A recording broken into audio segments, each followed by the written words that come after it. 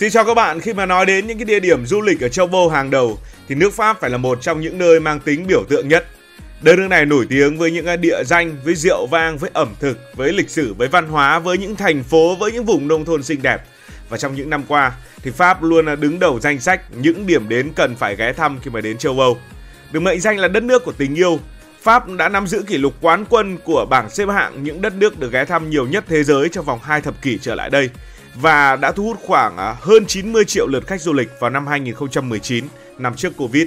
Vậy điều gì đã biến à, Pháp trở thành một điểm đến đáng thú vị như vậy và đâu là những điểm đến hàng đầu của nước Pháp? Trong câu chuyện ngày hôm nay chúng ta sẽ đến với 3 điểm đến hàng đầu tại nước Pháp, đó là Tháp Eiffel và hai điểm đến nào khác. Hãy cùng tìm hiểu. Một cách tổng quan thì Pháp là một quốc gia lớn tại châu Âu với diện tích là hơn nửa triệu km vuông. Đây cũng là một nền kinh tế lớn và du lịch thì chiếm khoảng 9,7% GDP của nước này. Pháp sở hữu 39 công trình được UNESCO công nhận là di sản văn hóa thế giới.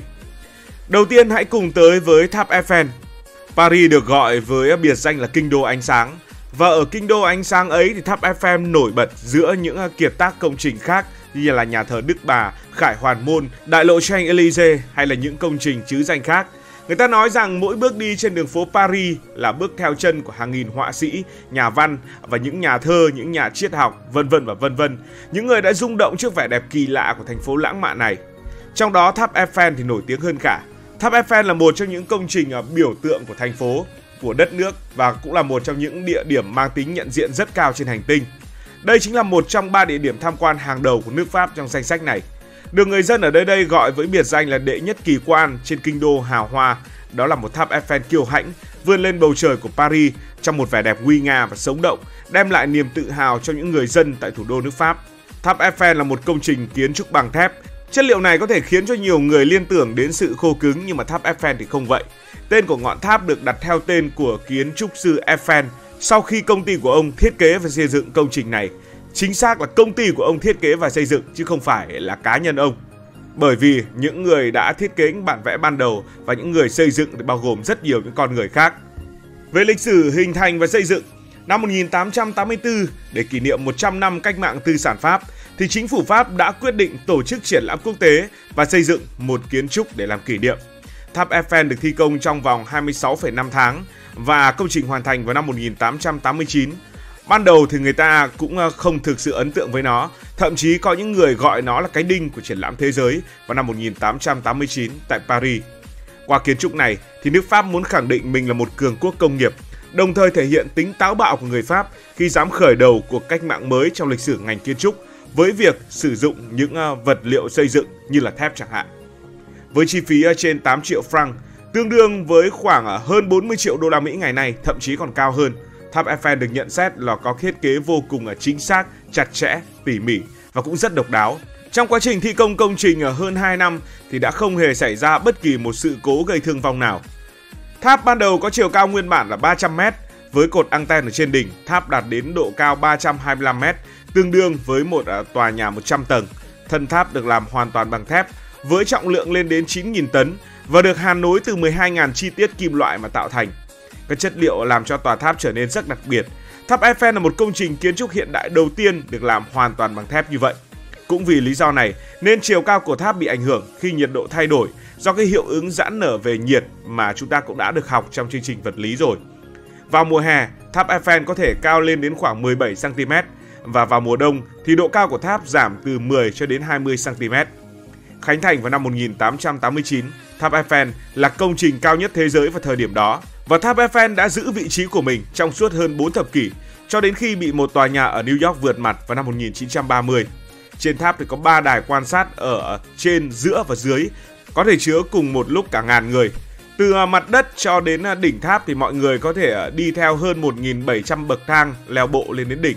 Đài quan sát cao nhất cách mặt đất 276 m. Đài giữa thì cách mặt đất 115 m và toàn bộ Paris thì đều nằm gọn trong tầm mắt của du khách. Từ khi khánh thành cho đến nay, tháp đã đón khoảng trên 250 triệu lượt khách đến thăm và trong những năm gần đây, mỗi năm à, tháp Eiffel sẽ đón khoảng 7 triệu lượt du khách, là một trong những công trình thu phí có sức hút bậc nhất thế giới. Nhưng hành trình để trở thành biểu tượng của nước Pháp của tháp Eiffel không đơn giản như vậy. Nước Pháp gắn liền với Paris và Paris thì lại gắn liền với hình ảnh của tháp Eiffel. Thật có hình dung nếu mà Paris không có tháp Eiffel Vậy mà đã từng có thời kỳ, sự ra đời của tháp Eiffel bị nhiều người phản đối kịch liệt. Đây là công trình đã gây ra nhiều tranh cãi bậc nhất ở Paris vào thời điểm nó xuất hiện. Không một người dân nào ở thủ đô nước Pháp sống vào thế kỷ 19 lại có thể thờ ơ với sự hiện diện của tháp Eiffel. Khi đang trong quá trình xây dựng, ngọn tháp đã nhận nhiều lời gièm pha. Nhiều nghệ sĩ cho rằng công trình bằng thép đồ sộ này xấu xí và kỳ dị. Nó sẽ là một vết đen trên bầu trời Paris. Thậm chí một nhóm kiến trúc sư và học giả đã ký vào một văn bản phản đối việc xây dựng ngọn tháp. Tuy nhiên cuối cùng, tháp Eiffel vẫn được hoàn thiện và nhanh chóng thành công rực rỡ, trở thành một trong những điểm du lịch hấp dẫn bậc nhất trên hành tinh. Tháp Eiffel đã trở thành nguồn cảm hứng của nhiều tác giả, nhiều nghệ sĩ.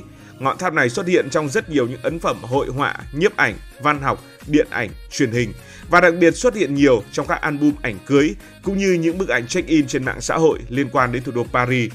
Chiều cao và sự nổi tiếng của ngọn tháp giúp nó cũng trở thành nơi mà những người ưa mạo hiểm thích trình diễn. Nhiều nơi trên thế giới từ Las Vegas ở Mỹ, từ Trung Quốc, từ Rumani, ờ, từ ờ, Đan Mạch với Copenhagen, từ Bulgaria, từ Kazakhstan và thậm chí là ở cả Việt Nam chúng ta cũng đã xây dựng những bản sao và những công trình mô phỏng của tháp Eiffel. Chỉ đứng sau tháp Eiffel, Mont Saint-Michel là địa điểm tiếp theo, được coi là nơi ghé thăm nhiều nhất, có thể nhìn ngắm quang cảnh đẹp bậc nhất nước Pháp. Đảo Mont Saint-Michel là di sản thế giới, một hòn đảo gồm tổ hợp những công trình kiến trúc kết hợp với những yếu tố tự nhiên độc đáo và vô cùng kỳ bí. Đây cũng đồng thời là một trong những hòn đảo nhỏ nhất của nước Pháp, còn được gọi là đảo đá. Đảo Mont Saint-Michel nằm ở vùng Normandy của nước Pháp, cách thủ đô Paris hơn 350 km và có vị trí vô cùng độc đáo khi là một hòn đảo cách đất liền cũng chỉ khoảng 1 km, giúp dễ dàng tiếp cận khi thủy chiều xuống. Vì diện tích rất nhỏ bé nên cư dân trên đảo chỉ có vỏn vẹn chưa đến 50 người, nhưng hàng năm khách tham quan đổ về đây lên đến 3 triệu lượt. Con số đó đã phần nào nói lên sức hấp dẫn từ hòn đảo bé nhỏ này. Lần lại lịch sử, từ thế kỷ thứ 8, nơi đây đã là một pháo đài trọng yếu của nước Pháp và cũng là một nhà thờ chính của tòa thánh Saint Michel. Chính vì uh, lý do đó mà hòn đảo mới có tên là Saint Michel. Từ xa xưa thì uh, vùng này vốn là nằm trong đất liền, nhưng mà trải qua hàng triệu năm với sự sói mòn của nước biển, nó đã gọt đẽo đất đá hình thành hòn đảo độc đáo này. Đảo ờ, Mont Saint Michel ờ, luôn kỳ bí và sức hấp dẫn đặc biệt với khách tham quan cũng như du lịch. Trên đảo có một ờ, tu viện và trên đỉnh của tu viện này thì lại có một ngọn tháp nhọn hoắt chĩa thẳng lên bầu trời. Sự hùng vĩ và dáng vẻ bề ngoài bí ẩn như một tòa lâu đài cổ của tu viện đã khiến các nhà làm phim Hollywood lựa chọn nơi này để quay bộ phim Chúa tể của những chiếc nhẫn. Về đêm, đảo Mont Saint Michel mang dáng vẻ đầy huyền bí và mê hoặc. Sự kỳ bí của hòn đảo và tu viện ở đây hiện hữu ngay trong lịch sử hình thành của nó. Một điểm khác biệt nữa khiến cho đảo đá Môn Xanh Misen không giống với bất kỳ một hòn đảo nào khác trên thế giới, đó là nó luôn biến đổi theo sự thay đổi của thủy triều. Ít có nơi nào trên thế giới thủy triều lại thay đổi nhanh và mạnh như ở nơi đây. Sự lên xuống của thủy triều diễn ra rất nhanh. Ở chính sự thay đổi của thủy triều làm cho Môn Xanh Misen có lúc thì như một pháo đài trên cạn, lúc thì lại giống như một lâu đài kỳ bí giữa đại dương. Có lẽ cũng vì lý do này mà Mont Saint Michel từng được coi là một pháo đài trong cuộc chiến tranh giữa Anh và Pháp. Thế rồi à, theo thời gian, Mont Saint Michel còn trở thành một nhà tù trong hơn 100 năm, từ cuối thời kỳ phục hưng cho tới cách mạng Pháp. Khi cuộc cách mạng Pháp diễn ra, Mont Saint Michel trở thành một nhà tù thực sự. Những căn phòng trong tu viện đã được chuyển thành những nhà tù, những công xưởng với hàng trăm người lao động khổ sai. Hiện nay, Mông Saint Michel vẫn còn lưu giữ những hệ thống dòng dọc dùng để vận chuyển tù nhân. Những tù nhân cũ chính là những người sẽ vận chuyển những à, bạn tù mới của mình bằng hệ thống dòng dọc này.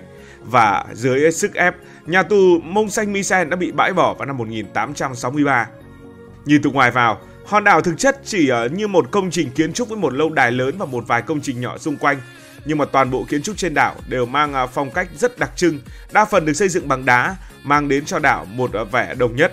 Hòn đảo hiện là một di sản văn hóa UNESCO, thậm chí một đập nước đã được xây dựng để tránh việc hòn đảo này phải đối mặt với tình trạng bị ngập hoặc bị nhấn chìm.